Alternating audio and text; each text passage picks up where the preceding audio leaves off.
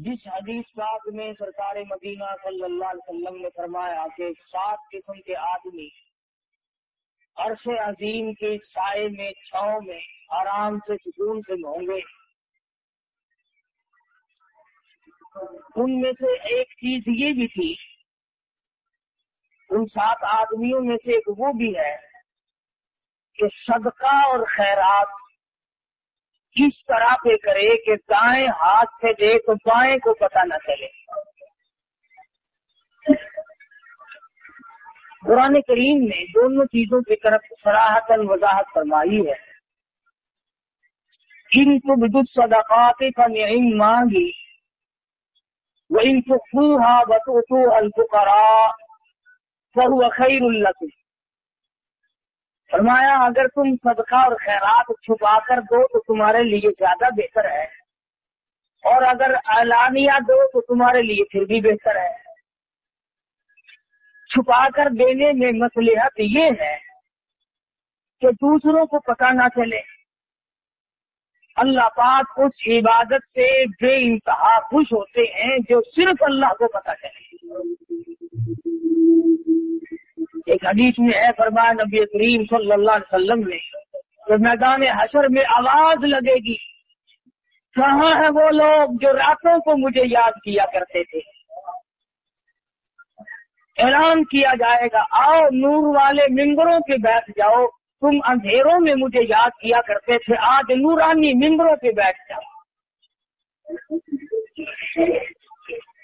एक और हदीस में है, फरमाया नबी करीम सल्लल्लाहु अलैहि वसल्लम ने कि जब आदमी छुपा करके कोई इबादत करता है, मक्खी इबादत करता है, और अल्लाह ताला से उसकी कबूलियत की उम्मीद रखता है तो खुदा बंद करीम उससे बहुत राज़ी होते हैं।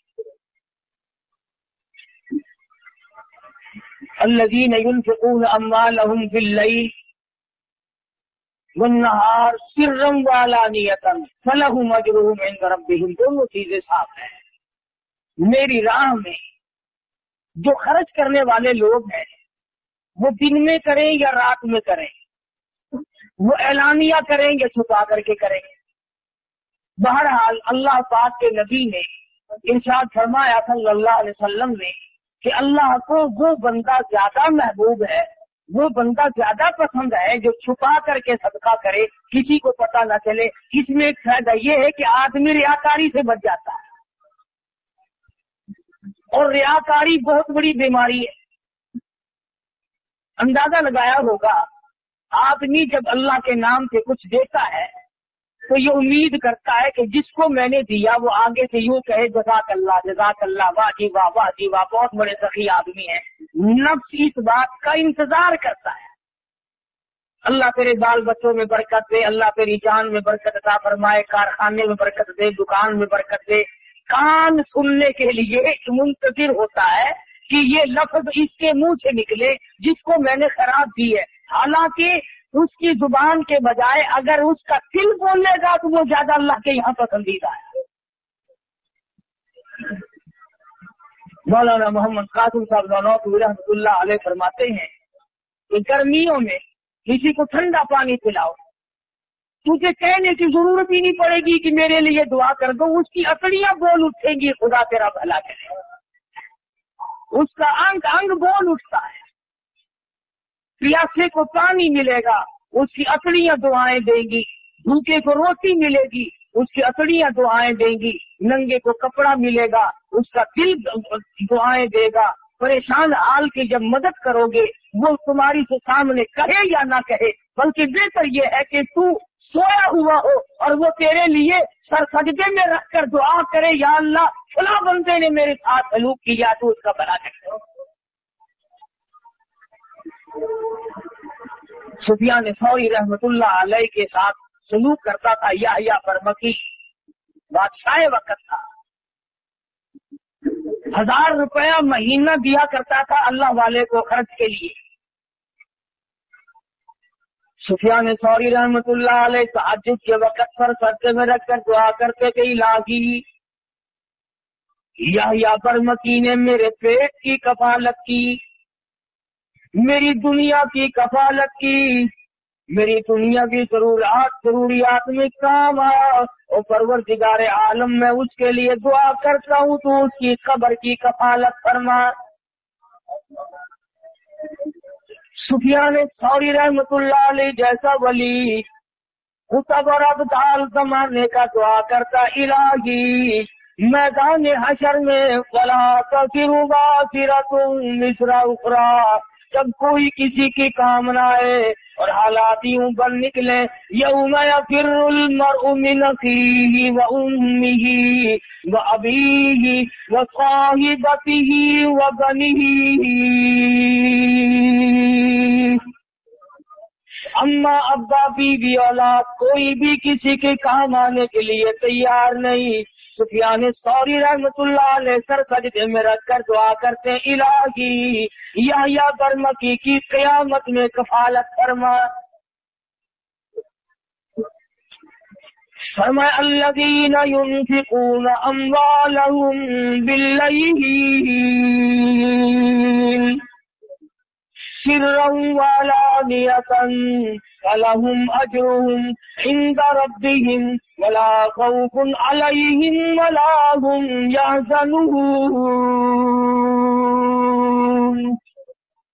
छुपा कर अल्लाह के नाम पे खर्च करो ऐलानिया तौर पर खर्च करो अल्लाह फरमाते हैं उसके लिए बहुत बड़ा अजर है और उसको चाहिए कि वो अल्लाह की साथ पर यकीन करे मगर दोस्तों ये सारे का सारा मामला अपने हाथ के साथ लगा हुआ है। उलमाम ने लिखा है कि मदीने का अंसारी खजूरों की तजारत करता है। खजूर हाथ में लिए हुए चल रहा है। आधी खजूर खा चुका है, आधी बाकी है। साहिल ने सवाल कर दिया, आधी खजूर उस फकीर को दे दी। चंद दिनों की बाद मौत करीब आई। वसीयत की वारिसों को मेरा सारा गुदाम अल्लाह के नाम पे सबका कर देना। मेरे नाम पे साले सवाब कर देना। मरने के बाद लोगों ने यू ही कर दिया किसी ने खाम में देखा, पूछा, बता क्या गुजरी? कहने लगा, यहाँ का मामला बिल्कुल निराला है। यहाँ की काम कारोबार बिल्कुल निराले हैं। और कहने लगा रब अकबर की कसम, जितना अदर जितना स्वभाव जितनी जगह मुझे आधी खजूर की मिली, इतना पूरे गुदाम का नहीं मिला।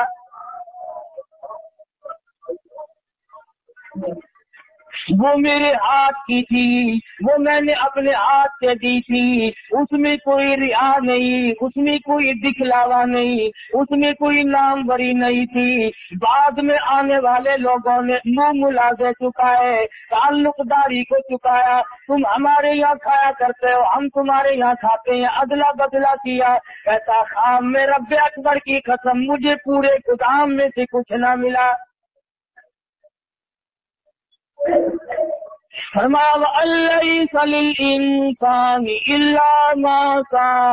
नहीं मिलता आदमी को मगर उसके हाथों की करतूत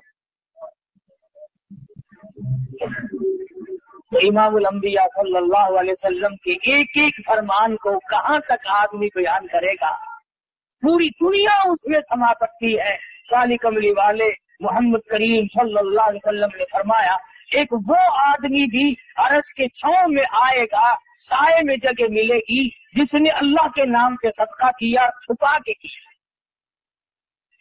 लेने वाले को भी शर्मिंदगी ना हो, और इसे भी रियाकारी का मौका ना मिले और दिखलावे का मौका ना मिले। कुरान करीम में मुसलमानों अपने लिए दिए को जाया न किया करो या आमनू और ईमानदारों ला तुबतिलू सदकातिकुम बिल मन्नी वल अदा बर्बाद न करो, खराब न करो, तबाह न कर डालो, खत्म न कर डालो अपने लिए दिए को। इलामीन खत्म कैसे हो जाता है? बर्बाद कैसे हो जाता है? जाया क्यों कर हो जाता है? फरमाया बिल मन्नी वल अदा एहसान जतलाना हमने तेरी साथ यूँ किया था उसके मुँह पे एहसान जतलाने से, उसे दलील करने से, आज तू बड़ा आदमी बनता है। कल हम तुझे जक़ात दिया करते थे। याद कर फलाने वक्त में मैंने तुझे कुर्ता पहनाया था। याद कर फला वक्त में हमने तेरे साथ यूँ सलूक किया था। अल्लाह का कुरान कहता है, खुदा फरमंत करीम फरमाते हैं, जब तू उसको मेरा मारता है, अल्लाह फरमाते मेरे बंदे का कलेजा इकट्ठा हो जाता है। मुझे तकलीफ़ होती है। और किसी बंदे को तकलीफ़ देना मेरे यहाँ जाए इसलिए अल्लाह करीम फरमाते हैं। सबसे बड़ी इबादत, सबसे बड़ी नेकी शेख अरब इवल अजम। हज़रत मौलाना सैयद हुसैन अहमद साहब मदनी नफर अल्लाह मरकजहू। अल्लाह ताला की करोड़ और रहमत नादिल हो। इस मर्द मुजाहिद की कबर मुबारक पे आमीन हो। हज़रत वाला की खिदमत में सोलह महीने रहने का इतफाक हुआ, जूतियों में बैठा इन लोगों की। बड़े बड़े आलिम तशरीफ़ लाते थे। हिंदुस्तान के भी और दूसरे मुल्कों के भी। और हज़रत वाला से वजीफा पूछते थे तो कुछ बताएँ हमें, आप ऐसा वजीफा करें जिससे नेक बन जाए। सुबह अल्लाह उस वक्त मुझे समझ नहीं आता था, मेरा बचपन था। अब कदर होती है। फरमाया करते थे, सबसे बड़ा वजीफा यह है कि किसी को सताओ मत। हिंदू हो, मुसलमान हो, मर्द हो, औरत हो, हत्या के जानवर हो जानकार कोई भी हो, किसी को दुख मत और अगर आप सोचे तो ये बहुत मुश्किल वजीफा है। यह गिरद बड़ा मुश्किल है। तस्वीर फेरनी आसान है। नफिल पढ़ने आसान है। लेकिन इस वजीफे पे अमल करना बड़ा मुश्किल है कि आदमी अपने आप को बताए कि किसी को सताना नहीं। किसी को परेशान नहीं करना। मैंने आपसे कर्ज ले लिया कि एक महीने में दूँगा। आप मेरे पीछे फिर रहे हैं, साल गुजर गया, ये सताना नहीं। मैं नऊज बिल्ला किसी की थी बेटी के बारे में गलत ख्याल करता हूँ। ये किसी की आबरू को टक्कर ये किसी को सताना नहीं। तमाम सूरतें इसमें दाखिल है। सफ़र में अगर में, घर में, कारोबार करने में सारी ज़िंदगी में अगर आप सोचे तो ये मसला बड़ा मुश्किल है कि आदमी दूसरे को तकलीफ़ न दे। हमारे यहाँ तो सारे तकलीफ़ दे करके काम बनते हैं। जब तक दूसरे को तकलीफ़ ना दो, उस वक्त तक आदमी की पड़ास नहीं निकलती।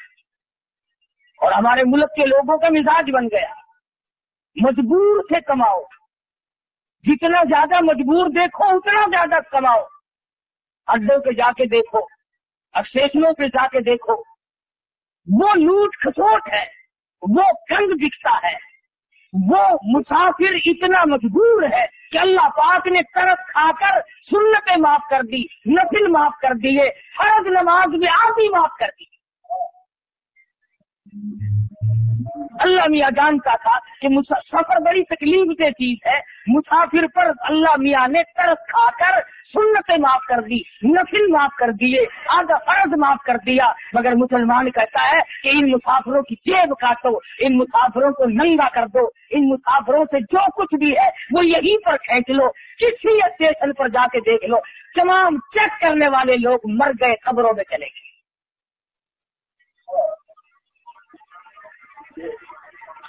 जहर भी मिला करके बेच डालो, कोई बात नहीं।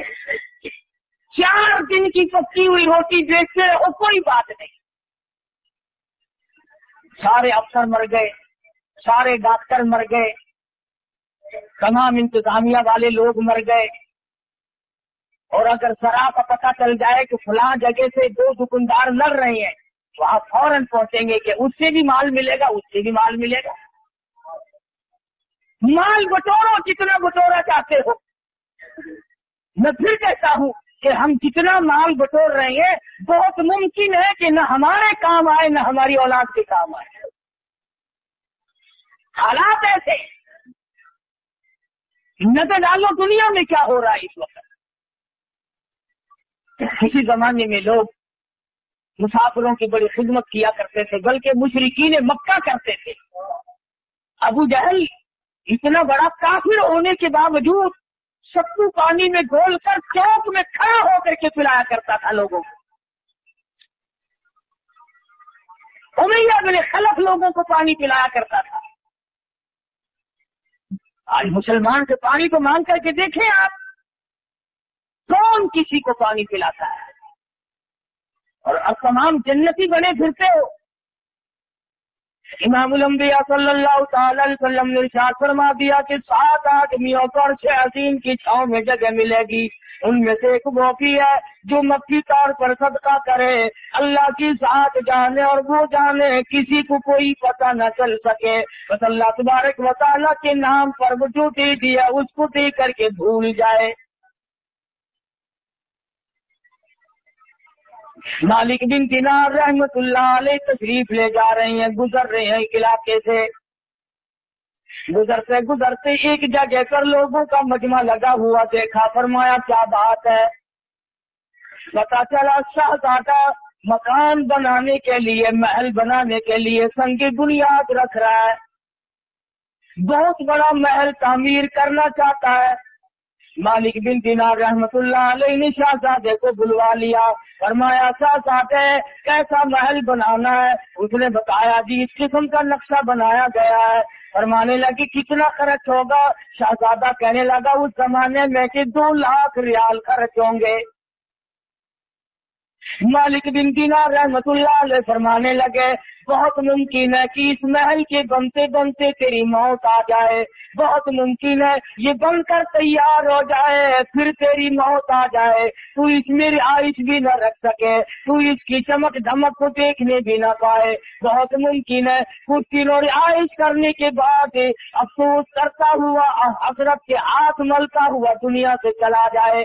हज़रत मालिक बिन दिनार रहमतुल्लाह फरमाने लगे, दो लाख रुपया मुझे दे दे, मैं ऐसे महल का वादा करता हूँ जिसमें तू दाखिल होने के बाद कभी निकलेगा नहीं।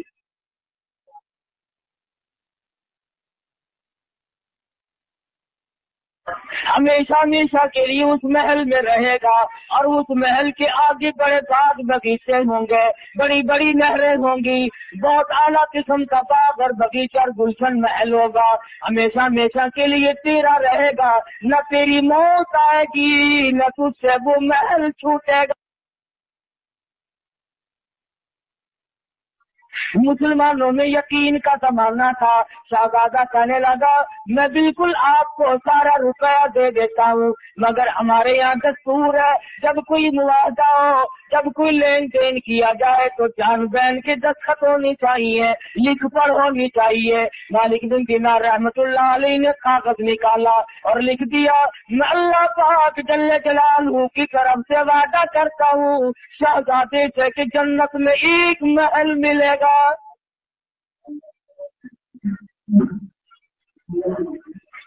शाहजादे ने महल पसंद कर लिया।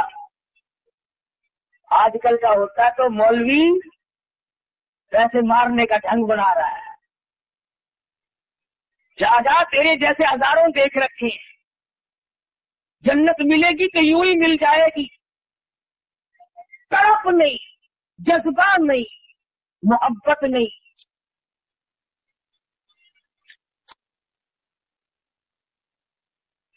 शहजादे ने दो लाख रुपया उठा करके मालिक बिन दिनार रहमतुल्लाह अलैह के हवाले कर दिया। और वो लिखा हुआ कागज़ जो था, वो खुद संभाल लिया। और मकान बनाने का इरादा तरक कर दिया। वो भी अल्लाह वाले थे, ये हमारे जमाने जैसे तो थे नहीं। मालिक बिन दिनार रहमतुल्लाह अलैह ने उसी वक्त ऐलान कर दिया कि जितने आज यतीम बेवा मसाकीन हो, आ जाओ सारे मालिक बिन दिनार खैरात तकसीम कर रहा है। उलमा ने लिखा है, सुबह से शाम तक मालिक बिन दिनार रहमतुल्ला अलैह के पास रोजा इफ्तार करने के लिए एक खजूर भी बाकी न तमाम का तमाम अल्लाह के राह में खर्च कर दिया आप लोगों को दे दिया मुरीद कहने लगा, हज़रत जी, शाम का रोजा किस चीज़ से उतारोगे? फरमाया, तूने उस वक्त न बताया, एक टका रख लेते दो खजूरे आ जाती। अब तो खत्म है मामला। अल्लाह गनी, सैयद आयशा सिद्दीक रज़ी अल्लाह तहा को, फारूक आदम रज़ी अल्लाह तहु ने बारह महीने का खर्च, बारह हज़ार रुपया यकदम भेजा। साल का खर्चा हमारी माँ के लिए ऐसा सिद्दीका अल्लाह तला के लिए, फारूक आज़म अल्लाह तला ने भेजा। जब खातमा ने गठड़ी ला के रखी, अल्लाह गनी उमुलमिन फरमाने लगी, मेरे और इस दौलत के दरमियान कपड़ा लटका दे, मुझे ये दौलत देखते हुए भी शर्म आती है। ऐसा सिद्दीका रज़ी अल्लाह ने रो दिया, फरमाने लगी, मुझे याद है। शहनशाह कायनात, हज़रत मोहम्मद वसल्लम के लिए रोटी पकाया करती थी। कभी आटा छानने की लोक चलाई फूक मार दिया करती थी। जो का आटा होता था, जो घास उड़ गया सुड़ गया, बाकी बीच में पकाया करती थी। और फरमाती है, जैतून के तेल का डब्बा घर में रखा था। वो खत्म हो चुका था। उसकी तल छंड बाकी थी, नीचे जरा सी काट बाकी थी। मैल कुछ ऐसा लगा हुआ था। ऐसा सिद्दीका फरमाती है, मैंने जो की रोटी से वो मैल कुछ ऐसा चुपर दिया। मदनी करीम वसल्लम लोग फरमा रहे थे और फरमाने लगे ऐसा कयामत में इस नियामत का भी सवाल किया जाएगा।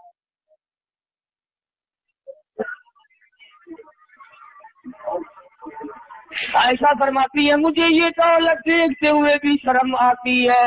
मेरे आका ने बड़ी तंगी की ज़िंदगी बसर फरमाई। तीन तीन दिन के फाके, चार चार दिन के अमूमन फाके जाया करते थे। बहरैन से मालिक गनीमत आया सारा दिन सरकार मदीना सल्लल्लाहु अलैहि वसल्लम ने सोना चांदी तकसीम फरमाया और शाम को हाल ये है, ऐसा फरमाती है, हजूर ने मुझसे पूछा, घर में कोई खाने की चीज़ है कि नहीं? मैंने अर्ज़ कर दिया, अल्लाह का नाम बाकी है। ऐसा फरमाती है, सरकार मदीना ने मुझसे पूछ कर भूख की हालत में नियत बाँध ली। किस तरह से ज़िंदगी गुजारी है मोहम्मद मदनी सल्लल्लाहु अलैहि वसल्लम? दूसरों के लिए सीमो जरो गोहर तकसीम हो रही है और अपना हाल ये है कि चूल्हे में आग नहीं जलती कपड़ा पूरा नहीं है और फिर शिकायत कभी नहीं। अल्लाह मियाँ ने खुद पूछा, ऐ मेरे महबूब, अगर आप फरमाए ये ओहद पहाड़ सोने का बना दू। जहाँ आप जाया करेंगे, ये आपके साथ साथ चला करेगा। अर्ज़ किया, और मेरे परवरदिगार में फकीरी में राज़ी मैं इस फकीरी में राज़ी हूँ, सल्लल्लाहु अलैहि वसल्लम। तो ऐसा सिद्दीका फरमाती है कि मुझे ये दौलत अच्छी नहीं लगती, इस गठड़ी को परे ले जाओ, मेरे और इसके दरम्यान में। कपड़ा लटका दो और खादमा से कहा, जाओ, मदीने की गलियों में ऐलान कर दो। आओ मोहताजो, आओ गरीबो। आज ऐसा सिद्धि का खैरात बात रही। बारह महीने का खर्च है। साल भर का खर्चा आया है। फरमाती है कि असर के वक्त तक तमाम का तमाम तकसीम कर दिया है। खादमा कहती है, शाम का वक्त जब आया ऐसा सिद्दीका रज़ी अल्लाह के पास। रोजा इफ्तार करने के लिए खजूर का दाना कोई नहीं। रोटी नहीं। खाने पीने की कोई भी चीज़ मौजूद नहीं। खादमा कहने लगी, आपने कुछ थोड़े से दो चार आने रख लिए होते। अब फाके से बैठी हो पानी पी कर बैठ गई हो रो के फरमाने लगी, तू नहीं जानती, इमाम अम्बिया वसल्लम का यही तर्क अमल था और यही हुजूर की वसीयत और नसीहत है। जो दौलत की तरफ़ पड़ेगा, आखिरत बर्बाद हो जाएगी। मालिक बिन दिनार रहमतुल्लाह अलैहि ने लिख करके दिया, दौलत रुपया पैसा तो लाख का से ले लिया। सारे का सारा दिन भर में तकसीम कर दिया है। तीसरे दिन या चौथे दिन, तीसरे चौथे रोज तहजद के लिए मालिक बिन दिनार रहमतुल्लाह अलैह ये मुसल्ले पे खड़े होने लगे तो पैरों में अंधेरे में कागज़ लगा। नबी सच्चा, तेरा नबी सच्चा, तेरा खुदा सच्चा। मैंने जन्नत में अपना महल पा लिया है। मुझे वो महल मिल गया जिस महल के लिए तुमने वादा किया था। बात है सारी यकीन की। तो हुजूर अकरम सल्लल्लाहु अलैहि वसल्लम ने दिलशाद फरमाया कि सात आदमियों में से एक वो भी अर्श अजीम के साय में होगा छाव में होगा जो सदका और खैरात छुपा के करता है और इस नीयत से करता है कि बस अल्लाह जाने और मैं जाना। कुरान करीम में अल्लाह की राह में खर्च करने की बहुत बड़ी फजीलत आई है। और एक और चीज़ खास तौर पर जो हमें खटकती है, उसकी भी वजाहत फरमाई। फरमा से करता है और इस नीयत से करता है कि बस अल्लाह जाने और मैं जाना। कुरान करीम में अल्लाह की राह में खर्च करने की बहुत बड़ी फजीलत आई है। और एक और चीज़ खास तौर पर जो हमें खटकती है, उसकी भी वजाहत फरमाई। फरमाया अशई कौन यादुकुमुल फकर। शैतान तुम्हें ये कहता है कि अगर तुमने यूँ ही लेने देने का सिलसिला जारी रखा तो, तो कल को तुम खुद तंग हो जाओगे। खल्लाश हो जाओगे कंगाल हो जाओगे तुम्हारे पास कुछ नहीं रहेगा अगर तुमने यूँ ही सिलसिला जारी रखा। यादुकुमुल फकरा व यामुरुकुम बिल जब भी तुम अल्लाह के नाम पे सदका करोगे खैरात करना चाहोगे, किसी मिस्कीन और मोहताज को देना चाहोगे, अजीबा करबा यतीम, बेवा के साथ सलूक करोगे, किसी हमसा गरीब के साथ सलूक करोगे, शैतान तुम्हें फ़ौरन कहेगा थोड़ा दे थोड़ा दे। अगर यू ही तू देता रहा तो तू नंगा हो जाएगा। अल्लाह मियाँ फरमाते हैं, शैतान का ये वादा है और मैं तुझे वादा देता हूँ, अल्लाह याई तुम मगफिरतन मिनहु व फजला। शैतान तुझे फकर का वादा देता है, करीबी याद दिलाता है, तू नंगा हो जाएगा। मुकाबले में मैं खुदा वादा करता हूँ, बख्शिश का और बढ़ावे का जाति का। तू मेरे नाम पे देता जा, मैं बढ़ाता चला जाऊँगा। वल्लाहु यईदुकुम मगफिरतन मिनहु व अल्लाह फरमाते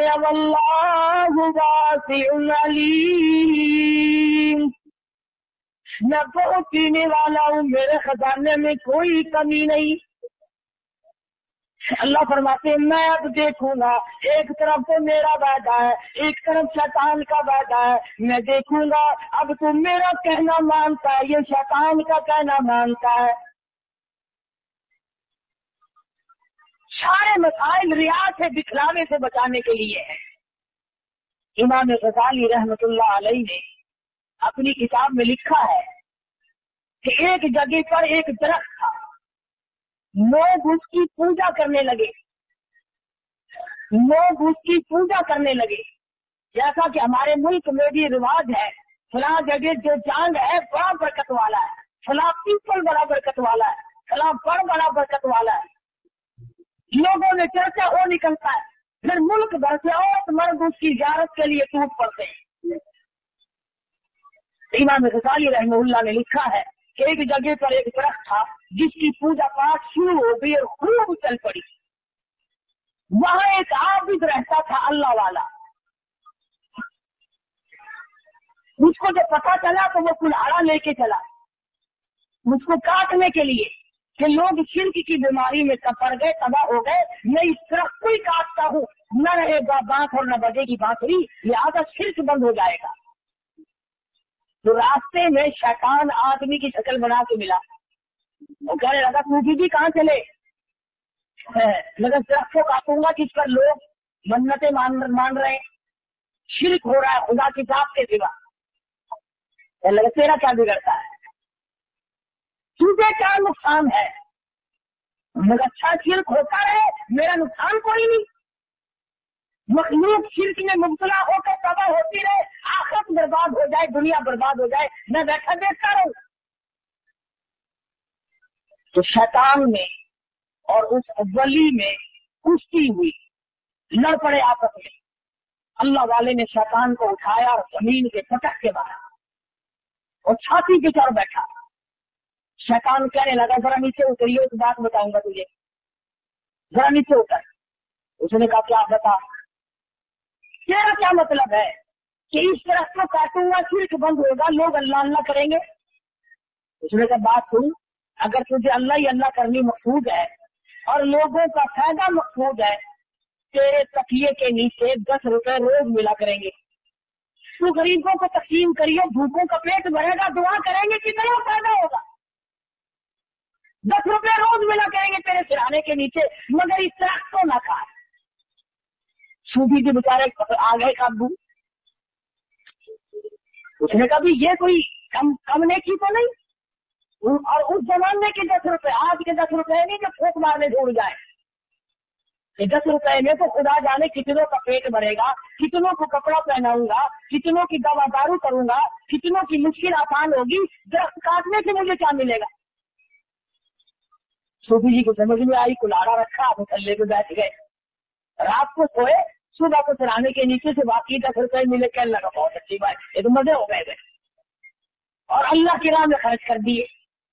दूसरे दिन भी सराहना उठा के देखा, सुबह को फिर दस रुपए मिल गए। उसने कहा, शैतान है तो सच्चा भाई। तीसरे दिन सराहना उठाया तो है ही नहीं। दरी उठा के देखी कि शायद दरी के नीचे जल्दी में रख गया हो, वहाँ भी नहीं। चारपाई के नीचे झाँक रहे हैं, मिट्टी को रेत रहे हैं। तो शायद इधर उधर गिर गए है ही नहीं। वो कहा थे? लगा अच्छा फिर उठाया कुलाड़ा और फिर उस तरफ़ की तरफ़ चले, और फिर रास्ते में मिला। इमाम गजाली रहमतुल्लाह ने लिखा है, कहने लगा, कहाँ चले? उस तरफ़ को काटूँगा। लोग शेर करते उसने कहा, वो बताया था तुझे दस रुपए मिला करेंगे। उन्होंने कहा, बेईमान हो गया था, दो दिन तो मिले, आज तो बिल्कुल नहीं मिला। एक अन्ना भी नहीं तो अब जो शैतान में उस वली में कुश्ती हुई, अब वली नीचे और शैतान ऊपर। अब वो नीचे दबा लिया और शैतान ऊपर चढ़ बैठा। कहने लगा तो जरा खैर ये बात बता। उस दिन तो तू नीचे था, मैं ऊपर था। आज मैं नीचे तू ऊपर ही वजह है। तो कहने लगा, मेरी बीमारी मुझसे पूछता है। उसने कहा बता तो सही, कहने लगा, उस दिन तेरा गुस्सा सिर्फ़ अल्लाह के लिए था। उस दिन जो तेरा गुस्सा था नाराज़गी थी, वो अल्लाह की रजा के लिए थी और अल्लाह के लिए थी, लिल्लाह थी। उसमें तेरा कुछ शामिल न था। आज के गुस्से में ये भी तो शामिल है ना कि वो दस रुपए क्यों नहीं मिले? इसलिए मिलावट हो गई गुस्से में, इसलिए मैं ऊपर आ गया जनाब नीचे चले गए। उलमा ने लिखा है कि अगर गुस्से में मिलावट हो जाने से शैतान के नीचे आदमी आ जाता है, इबादत में जब शैतान का हमारी रियाकारी और सिखलावे को दखल होगा तो फिर शैतान के नीचे क्यों ना आएँगे? इसलिए फरमाया कि रियाकारी से बचना है, दिखलाने से बचना है। कई लोग नमाज़ पढ़ते हैं। जब लोगों में नमाज़ पढ़ेंगे, ओ, लंबा सजदा, लंबा रुकू, बड़ी लंबी अतहियात बड़ी लंबी थी किरात और जब अकेला पड़े तू चल में आया, ठक ठक, खत्म की वो गहरी कर गए देर नहीं लगे। बात इमामों का ये हाल है जमात करावेंगे तो बड़ी लंबी चौड़ी नमाज़। और बाद में दो सुन्नतें अगर पढ़नी है ना तो मुख्तली सारे खड़े हैं मोली था पढ़ के चले भी गए। ये तमाम चीज़ें दिखलावे में शामिल है ये। और अल्लाह पाक दिखावे को, रियाकारी को खत्म पसंद नहीं करता। वो जक़ात हो वो नमाज़ हो, वो हज हो, वो इबादत हो, वो खैरात हो, कोई चीज़ भी हो, अल्लाह पाक कहता है, जो करना मेरे लिए कर। उसमें किसी किस्म का दिखलावा ना कर, और लोगों को क्या दिखाता है? लोग तो तुझे आगे बेईमान कहते हैं। क्या दिखाना है लोगों को? इसलिए पुराने करीम में बार बार फरमा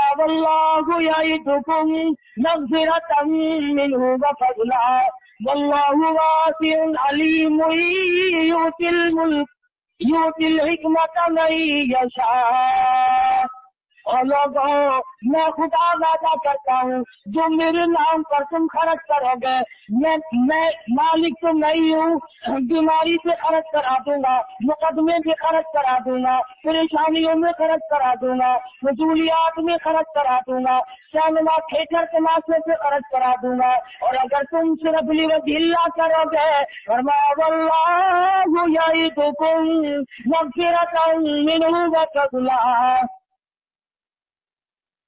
सबसे कहने तो मेरी तरफ़ से बख्शिश का वायदा है। कितनी बड़ी बात है कि खुद मालिक ये फरमाए कि जब तू आएगा, मैं तेरे लिए जन्नत तैयार लिए खड़ा बड़ी अच्छी बात कही।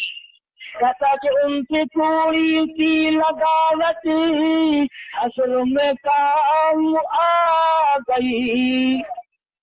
उनसे थोड़ी सी लगावट हसरों में काम आ गई। मगरत है मगफिरत है जिस में मेरे घबराई हुई। बख्शी तलाश करती है क्या मज़े की बात है। इमामुलम्बिया सल्लल्लाहु अलैहि वसल्लम आवाज़ दें अल्लाह पाक की तरफ़ से ऐलान आए वो लोग कहाँ गए वो लोग जो अपनी जरूरियात में से निकाल कर, अपने खर्चे में से निकाल कर मेरे नाम पर दिया करते थे, जिनका ये ख्याल था कि हम इसका बदला अल्लाह से हासिल करेंगे।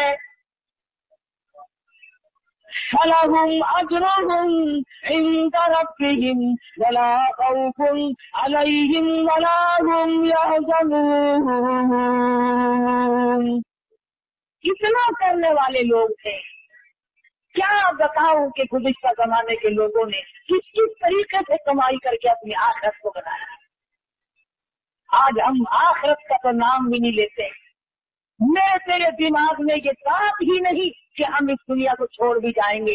खबर की ज़िंदगी भी आएगी हसर भी आना है, कयामत भी आनी है फुलफरात भी आनी है। हम हम लोगों के दिमाग में तो ये बात आई नहीं।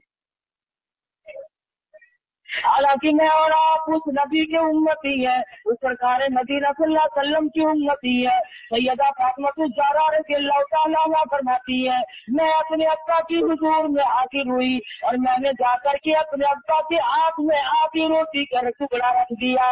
मदनी करीम सल्लम ने पूछा कौन से लाई मैंने रख किया, मेरे अब्बा, तीन दिल के फाके के बाद एक रोटी मिली थी। आप ही मैंने खा ली आप ही आप अब्बा के लिए लिए बचा लाई हूँ। सरकार मदीना सल्लम की आँखों में आँसू आ गए। फरमाया लगते जिधर और नूरे नज़र रोटी का टुकड़ा देखा है। किस तंगी से किस रुख से किस परेशानी से ज़िंदगी गुजारी और आमदन गुजारी। ये नहीं कि हुजूर मजबूर थे, अल्लाह ने बार बार पूछा है हो तो दौलत के अंबार लगा दो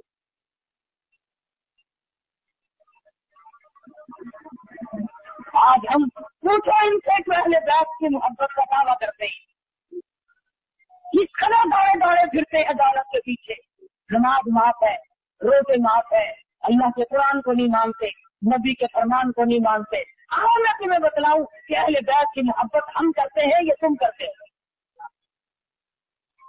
सरकार मदीना सल्लल्लाहु अलैहि वसल्लम से शरीफ लाए।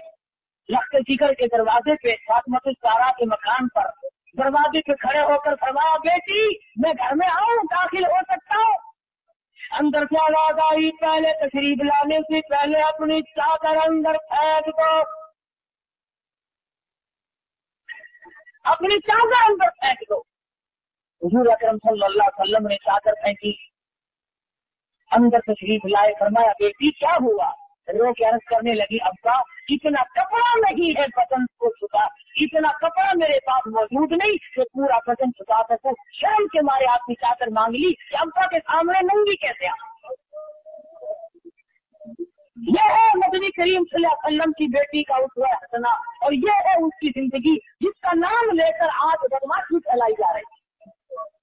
जिसका नाम लेकर आज दौलत समेटी जा रही है।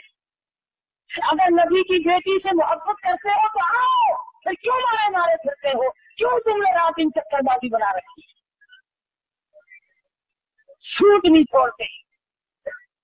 नबी की बेटी के पास बदन छुपाने के लिए कपड़ा नहीं, और कुछ खा रहा है सूज खा रहा मुसलमान कहलाते हो अपने आप को सूद खा खा के। कर रहा था कि हम अपने आप को बदलेंगे कर कौन सा वक्त होगा कि हम अपने आप को आखिरत के लिए तैयार करेंगे? फरमाया, बल आखिरत खैर तका बोला तुझलमो न फतीला और मेरे बंदे, आखिरत तो परहेजगारों के लिए है। दिल की परहेजगारी इख्तियार करो। दिमाग के अंदर परहेजगारी पैदा करो। अपने हाथ के अंदर तकवा इख्तियार करो। अपनी आँख में तकवा पैदा करो। अपने रात दिन के निज़ाम में अल्लाह का खौफ पैदा करो, रात को सोचो, दिन को सोचो, आखिर बढ़ क्या रहा? है हमारे यहाँ गौरव फ़िक्र का माता ही खत्म हो गया। साहबियात ने साहब इकराम रुजवान मदीनाइन ने किस किस तरह पर अपनी ज़िंदगी पूरी फरमाई? बादशाह होकर। बादशाह होकर। छह सहाबी सैयदा हफ्सा रज़ी अल्लाह तला के पास गए हैं, जो उम्मुल मोमिनीन में से हैं। आखिर समा पैगंबर हज़रत मोहम्मद रसूलुल्लाह सल्लल्लाहु अलैहि की घरवाली है। हम सब मुसलमानों की माँ है, सैयदा हफ्सा रज़ी अल्लाह तला और जाके कहने लगे कि हमें तो डर लगता है, हमें तो शर्म आती है। आप अपने अब्बा, यानी हज़रत उमर से कहें कि ये पेमन वाले कपड़े पहनने छोड़ दें अब तो फतूहत बहुत होगी। अब तो इतनी तंगी नहीं रही। दूसरे मुल्कों के वफद आते हैं। हमें शर्म आती है, जरा कहो ना, कुछ खर्च ज़्यादा कर लिया करें। अगर उमर रज़ी अल्लाह जब अपनी बेटी के यहाँ तशरीफ़ लाए तो कहा, अब्बा जान, कुछ ज़िंदगी बदलो, कुछ रंग ढंग बदलो, अब तो अलहमदुल्ला अल्लाह का करम है फतूहत हो रही है। तमाम मुसलमान चाहते हैं कि आप अपनी हालत को बदल लें। रोने लगे, फरमाया उन आदमियों के अगर तुम नाम बताते वो आने वाले कौन कौन से दुर्रे मार मार कर उनके चेहरे बिगाड़ दूँगा। तो खुद बता अलैहि वसल्लम का जब आखिरी वक्त आया आपकी वफात हुई आपकी मौत आई कैसे कपड़े थे? हमसा ने रो दिया, और सैयदा हमसा रज़ी अल्लाह फरमाती है, मेरी आँखों ने देखा अलैहि वसल्लम के आखिरी लिबास में कई पेवंद लगे थे। शाहरुख के आज़म रजील्ला फरमाने लगे अब रोटियो, मैं भी इसी हाल में जाना चाहता हूँ, ताकि मुझे अपने आका की खिदमत में जाते हुए शर्म न आए हफ़्ता कहती है तो चमड़े का पेबंद भी एक दो लगा हुआ था। कम से कम चारों पेबंद थे, जिन कपड़ों में फारूक आज़म का इंतकाल होगा कमा करके ले गए यही लोग और फरमाया, मुसलमानों के बाकायदा कहा? तो तुम मेरी तजवीज तस्वीर पर कोई खर्च न करना ऐसे भी तो लोग थे। एक बुज़ुर्ग है, बहुत बड़े मुहक्स हैं। इमाम बुखारी रही उल्ला के भी उस्ताद है। हदीस शरीफ लिखते थे फोल्टिन पेन उस जमाने में थे नहीं। कलम थी। कलम तराशते थे, छीलते थे। वो का एक सीखे लेने इकट्ठा करते थे। जब आखिरी वक्त आया तो फरमाया, मेरे गुसल का पानी इस छिलके से गर्म करना जिससे मैंने कुरान लिखा, हदीस शरीफ लिखी, पूछा क्यों? रो दिया। फरमाया का बहाना बनाना चाहता हूँ। इस छिलके से मेरे गुसल का पानी गर्म कर लेना, जिससे मेरा आखिरी गुसल दोगे ताकि मैं याद कर सकूँ कि ऐसे छिलके का पानी से गुसल करके आया हूँ, जिससे तेरे महबूब वसल्लम की मैं हदीस लिखा करता था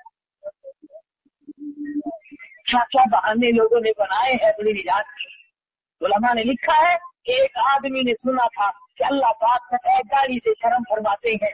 मरने लगा आखिरी वक्त आया। काली दाढ़ी थी। रोटी कहने लगा, मेरी दाढ़ी को बंद कर दो ताकि मेरा भी काम बन जाए। उलमा ने लिखा है, मरने के बाद किसी ने खाम में देखा। पूछा, बता क्या गुजरी? कहने लगा, मेरा हिलना ही कबूल हो गया। अल्लाह ने फरमाया वो तूने हिलना किया, मगर मुझसे डर के किया था, इसलिए जा मैंने तुझे माफ़ ऐसे हीले बना, ऐसे हालात पैदा करो। ऐसी ज़िंदगी पैदा करो जिससे आखिरत का काम आसान हो सके। अल्लाह पाक मुझे और आप और आपको आखिरत का फ़िक्र पैदा करने की तौफीक पता फरमाए। हम सब के कबर असल को अच्छे से अच्छा फरमाए। अलहमदुल्ला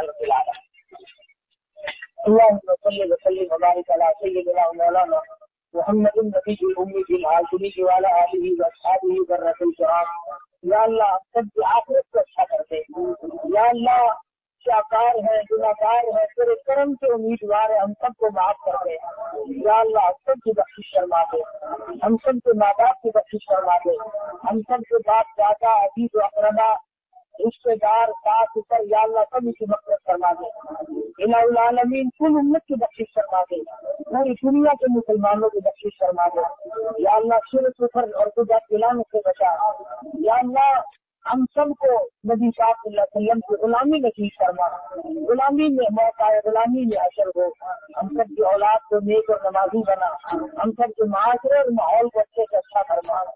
या अल्लाह सब बीमारों को शिफा अदा फरमा। सभी की मुश्किलों को आसान फरमा दे। सबकी परेशानियों को दूर फरमा। मालिक कायनात इस मस्जिद को क्यामत का आबाद फरमा। या अल्लाह इस मदरसे को दीन के लिए चश्मा बना। परवर आलम हम सबको कुरान करीम की मोहब्बत की फरमा अजमत नसीब फरमा माई है जिसके साथ लड़कियाँ ही लड़कियाँ हैं। दुआ कर को अल्लाह पाक मरीना औलाद अदा फरमाए तमाम मुसलमानों की बिजली बना दे। या अल्लाह, सब आदतमंदों की आदतों को पूरा करवा इलाही सबकी झोलियाँ कर दे। सब के कारोबार को अच्छे से अच्छा फरमा दे। जिसके दिन में कर्ज को अदा करने की सूर को पैदा करवा सबके रोज इज़्ज़त में बरकत अदा करवा या अल्लाह उससे हलाल नसीब करवा इलाही किसी को किसी का मोहताज न बना। अपने दरवाजे पर फकीरों की झोलियाँ मार दे रब्बना तकब्बल नज़म के समीउल अलीम वतुब अलैना नज़म के तव्वाबुर रहीम सल्लल्लाहु अला हबीबिही मुहम्मद व आलिहि वसहबिहि आप आप नबी करीम सल्लल्लाहु अलैहि वसल्लम का मतलब ये था